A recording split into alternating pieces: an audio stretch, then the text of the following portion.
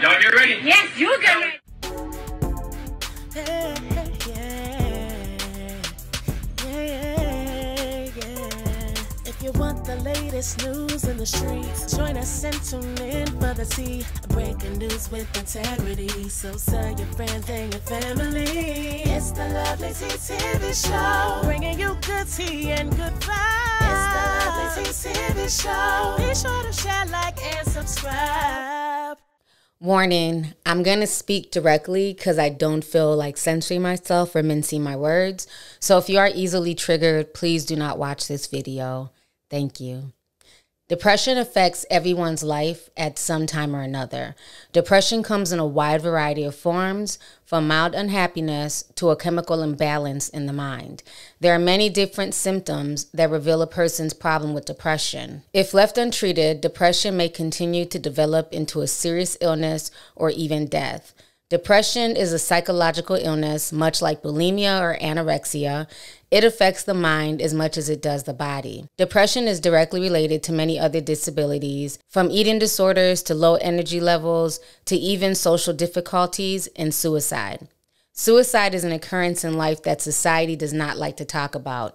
The stigma surrounding suicide is vastly misunderstood, and it's really unfortunate because a lot of people suffer from suicidal thoughts.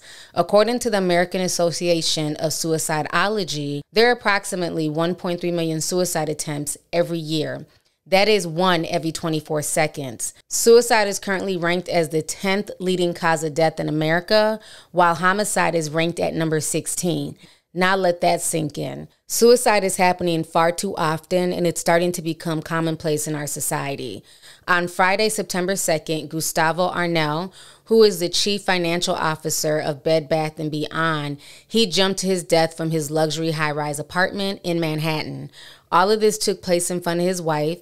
He said no words, he left no note, and he just chose to throw himself off of the 57th floor of his high rise luxury building. This morning, police are investigating the death of Bed Bath & Beyond CFO Gustavo Arnal, the executive dying by suicide, plunging from this luxury high rise in downtown Manhattan Friday. Arnal's death coming days after the struggling retail giant announced it would close around 150 stores and lay off a fifth of its employees. Good morning and welcome back to my channel. I hope you guys are doing okay mentally and spiritually. This video may be triggering, so once again, please proceed with care. Yesterday, rapper 600 Breezy took to social media to let everyone know that he was mourning his girlfriend's sudden death. 600 Breezy posted a social media tribute to his girlfriend. They had been together for two years and her name was Raven Jackson. He included not only photos and videos of themselves together, he also screenshotted what appeared to be her suicide note. In the text messages, Breezy's girlfriend is telling him that she's tired and she's been dealing with a lot of bad thoughts for years while waiting for the right time to act. She mentions that she is hanging out on a bridge and notes that she gave up a long time ago. This is what 600 Breezy wrote on his social media page. He says, My baby was hurting, and I did everything I could to show her nothing but love and keep her going. I put everything into her, her business. I believed in her. I worshiped the ground that she walked on. She is gone forever. I hate myself. Please, when your loved ones are showing signs of any mental damage or health, please take them serious. This is real. This is what she left me with. And I'm supposed to be able to continue to live. At Raven Jackson, you always told me that you wanted to go out young so that you can get that love that you deserve from others and be a legend. But what about your family, baby? What about me? You left my heart so empty and broken, lifeless and alone. And now, no matter what they say or what you say, I'm going to forever feel like it's my fault. Please, y'all, pay attention to the signs of depression or mental health. So now I'm going to read you guys the screenshots of their conversation. This is a conversation that Raven sent to 600 Breezy. So once again, proceed with caution. So she writes to Antonio, I'm just tired, baby. I was dealing with these thoughts before you met me. I was just waiting for the right time. This is my third time writing this for real. It's nobody's fault. I've been tired for a long time. I gave up a long time ago. I just do a good job of hiding it. Right now, I'm writing this. I'm remembering us happy, looking at our video, imagining how beautiful of a bride I would have been. It's 5 p.m. here, and this bridge is actually nice. I wish we would have came here together. Some homeless people sprinkled in, but not too many. I'm thinking about how this will feel. I used to joke about how recklessly I was living my life before meeting you. Truth be told, I would put myself in dangerous situations because I didn't care about living. Living just always seemed overrated. I'm sorry, man. It's one thing to ruin your life, but I had to go and end mine too. Understand that this is my choice. This is what I wanted. This is what I've wanted for a while. I just don't fit here. I'm not happy in this world. I can't take it anymore. I don't want to be here. It's too much on me. I wish I could take it back and undo everything so I never even called you. Nothing seems real, Antonio. Not my business, my relationship, not even me. My heart is weak from stress and my ovaries hurt, but they keep saying nothing's wrong.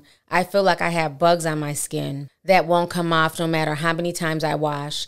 You were the best thing that happened to me in a long time, Tony, but I know I'm a lot to deal with. We're as distant as we've ever been. I love you with all my heart. I couldn't take ruining us. I'm losing all the people I love.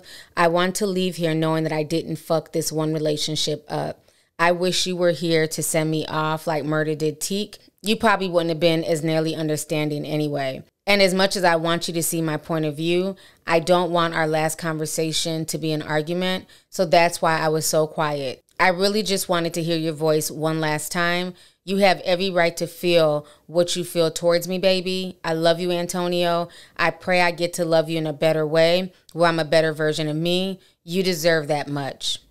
So, you guys just heard me read that, and that message was just incredibly sad to read. When I first read that, my heart was like literally broken for her because you can hear the despair and the desperation in her messages. I also went to go do some digging because she kept saying that she was in pain and that her ovaries hurted.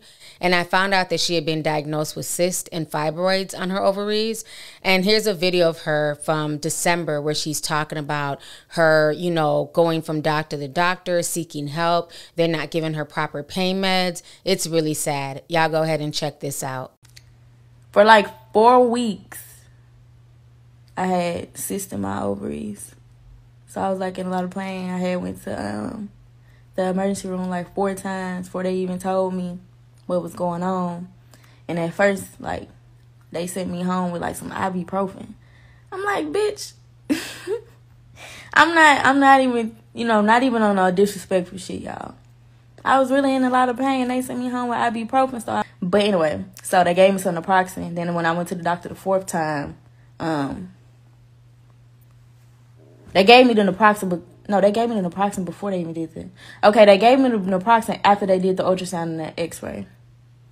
So I went to the doctor the fourth time after they gave me the naproxen, just to I would make sure that everything was okay because I hadn't went to a real gynecologist. After they gave me the x-rays and stuff and told me that I actually had a cyst, they told me to follow up with a gynecologist. I went to a gynecologist.